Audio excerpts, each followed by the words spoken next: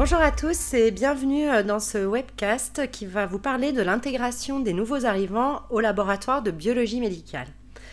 Ce webcast est basé bien sûr sur les exigences de la norme ISO 15189 version 2002. 22. Pardon. Alors, je vais vous faire un bref rappel euh, normatif, puis je vais vous présenter quels sont les objectifs, finalement, pourquoi on intègre un nouvel arrivant, que contient un programme d'accueil et enfin quels sont les moyens possibles. Avec bien sûr pour objectif bah, de vous aider à structurer votre programme d'accueil pour une intégration efficace et sécuritaire de vos nouveaux employés. Alors un petit rappel normatif parce que euh, la phrase est finalement assez courte euh, par rapport à ce programme d'intégration. Donc vous allez le retrouver dans le paragraphe 6.2 de la norme personnelle et la norme vous dit le laboratoire doit disposer d'un programme d'accueil du nouveau personnel dans l'organisation, le département ou le secteur dans lequel la personne travaillera afin de lui présenter les conditions générales d'embauche, les locaux du personnel, les exigences en matière de santé et de sécurité et les services de santé au travail. Donc je vous propose euh, de, de euh, de transformer ces exigences normatives en euh, un élément un peu plus concret pour vous. Alors pourquoi finalement nous allons intégrer un nouvel arrivant? Bah, Bien sûr, c'est pour accueillir au mieux euh, la nouvelle personne. Pour expliquer à cette nouvelle personne bah, quel est le principe de fonctionnement du laboratoire? Ce n'est pas parce qu'elle a travaillé déjà dans un laboratoire qu'elle connaît votre propre fonctionnement. Vous présentez bien sûr les exigences en matière de sécurité accompagner euh, le nouvel arrivant finalement dans sa prise euh, de fonction. À qui va s'adresser cette intégration? Ben, Bien sûr à tout le personnel interne au laboratoire. Mais cette exigence peut être également valable pour du personnel externe au laboratoire.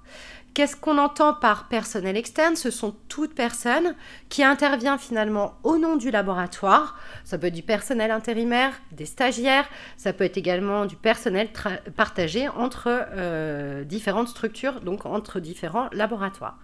Alors les infirmières libérales, les auditeurs externes, etc., ne euh, sont pas concernés par cette exigence. Donc vous n'êtes pas obligé de les intégrer dans votre propre laboratoire.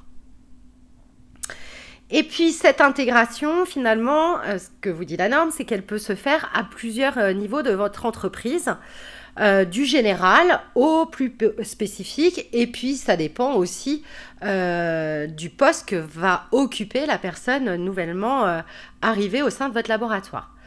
Alors, moi j'en ai défini quatre, vous pouvez en avoir plus. Donc le premier niveau, c'est le niveau général, donc c'est la vue d'ensemble finalement euh, de votre laboratoire.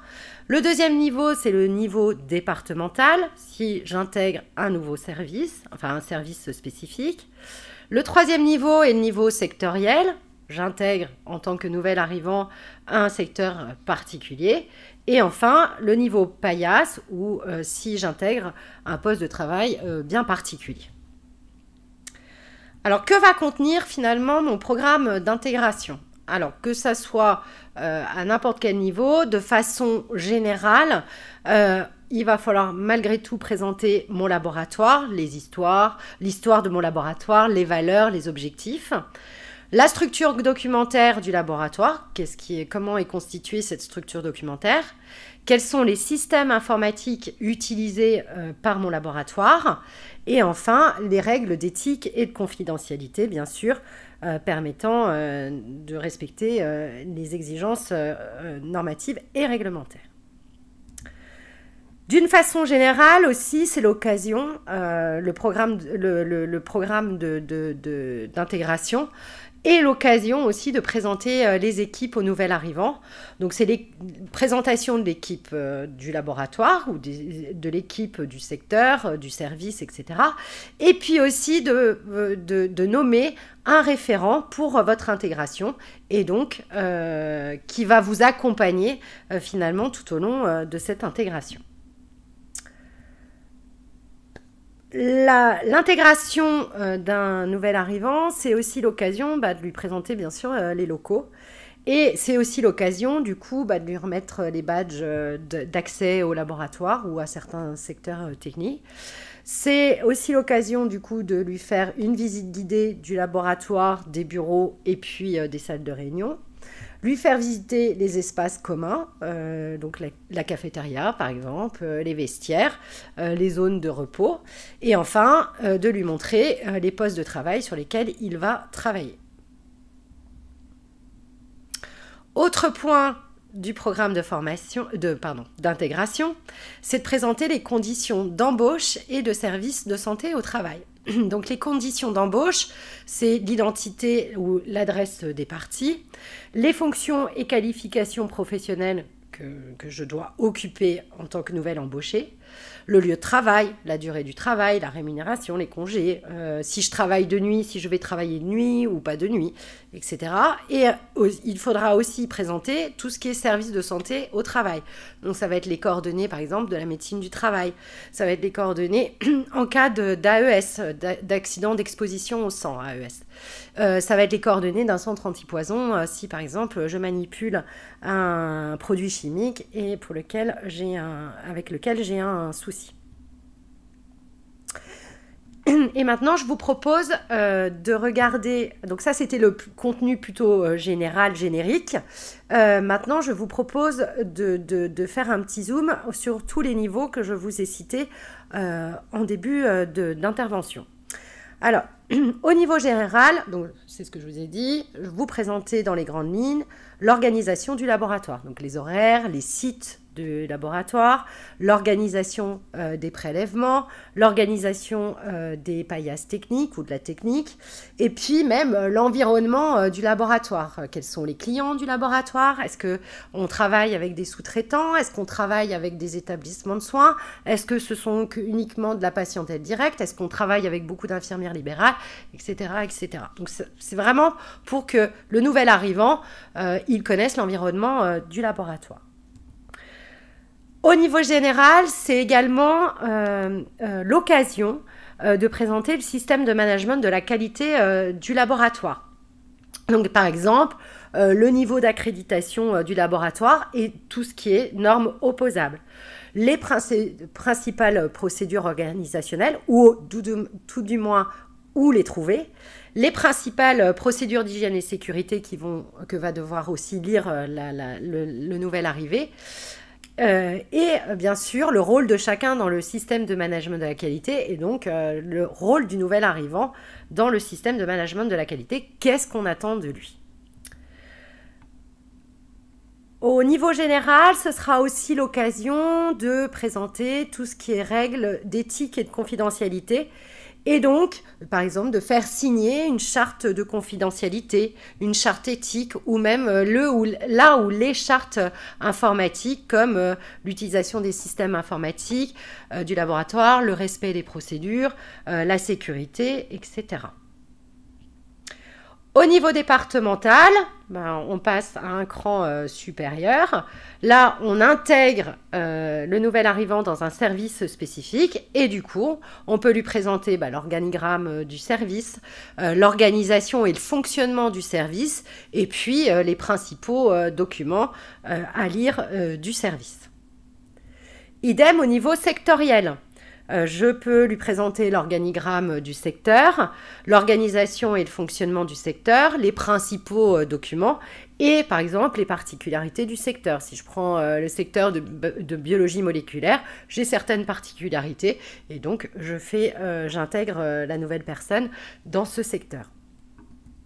Et puis après, ça peut être au niveau de la paillasse. Donc là, là aussi, l'organisation de la paillasse, le fonctionnement de celle-ci, les principaux documents et les particularités euh, de, la paillasse. Alors attention, quand vous présentez une paillasse à un nouvel arrivant euh, lors de l'intégration, ce n'est pas considéré comme une évaluation euh, des compétences. La norme, elle vous demande un peu plus d'éléments et de preuves.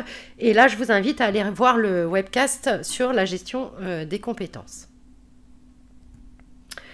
Et puis après, bah, tout ce qui est euh, exigence en matière de sécurité doivent également être présentées au nouvel arrivant, donc quels sont les équipements de protection qu'il doit utiliser, donc blouse, gants, lunettes, euh, les procédures d'urgence ben, en cas d'alarme, euh, incendie, s'il faut évacuer, et en termes de premiers secours. Quelles sont les règles aussi à respecter lors de la manipulation de produits dangereux, donc dangereux, pardon. Donc quels sont les protocoles? Et enfin, bah, quelles sont les conduites à tenir en cas d'accident d'exposition au sang et les conduites à tenir en cas d'accident, par exemple avec un produit euh, dangereux? N'oubliez pas que cette intégration euh, est le début finalement de l'accompagnement euh, à la prise de fonction de la personne qui vient d'être embauchée. Donc là aussi, vous pouvez présenter des éléments dans votre programme d'intégration comme la définition de fonction, qu'est-ce qu'on attend d'elle, et euh, vous pouvez également lui présenter le parcours de formation, pour le coup, initial euh, nécessaire que, la nouvelle personne va devoir suivre et euh, les éléments de tutorat correspondants. Et c'est là où ça aboutira effectivement à l'autorisation de la prise de fonction. Alors, quels sont les moyens qu'ont les laboratoires pour mettre en place un programme d'accueil? Alors, il y en a plusieurs. Là, je vous en, présente trois, mais vous pouvez en avoir euh, d'autres. Euh, et euh, ces trois éléments peuvent être dans le système de management de la qualité du laboratoire, où le laboratoire choisit un moyen ou deux moyens. C'est à son choix. Alors, le premier moyen, c'est le manuel ou le livret d'accueil. Donc en fait, ce manuel, c'est euh, une espèce de, livre qui regroupe tous les éléments euh, du, programme que je viens de vous présenter, euh, qui est donné au nouvel arrivant pour lecture, bien sûr. Mais attention toujours à la lecture d'un document bien, vérifier que celui-ci ait compris et, les éléments qu'il vient de lire. Et si vous remettez un livret d'accueil au nouvel arrivant, bien sûr, il y a une exigence de traçabilité, de remise de ce document et de, euh, une traçabilité de euh, prise de connaissance de ce document. Autre moyen euh, qui en général utilisé dans les laboratoires, c'est ce qu'on appelle le parcours d'intégration. Et donc ce parcours d'intégration, finalement, il va être sous format de checklist. Et euh, comme ça, la personne qui, intègre euh, le nouvel euh, arrivant, il sait exactement qu'est-ce qu'il doit présenter, quels sont les documents qu'il doit présenter, quels sont les documents qu'il doit faire approuver au nouvel arrivant, quels badges sont, sont, à remettre, etc., etc. Là aussi, j'ai des exigences de traçabilité. Et enfin, certains laboratoires mettent en place aussi des formations spécifiques pour l'intégration des nouveaux euh, arrivants, comme des formations euh, sur le système de management de la qualité euh, du laboratoire, sur la sécurité au sein du laboratoire, la formation aussi sur les logiciels utilisés par le laboratoire. Il peut avoir aussi des formations sur l'éthique et la confidentialité, etc. Donc là aussi, qui dit formation, dit exigence de traçabilité. Alors, ce qui est à retenir, c'est que si votre intégration est réussie, euh, la prise de fonction pour la nouvelle arrivant sera beaucoup plus facile et donc beaucoup plus efficace. Je vous remercie pour votre attention.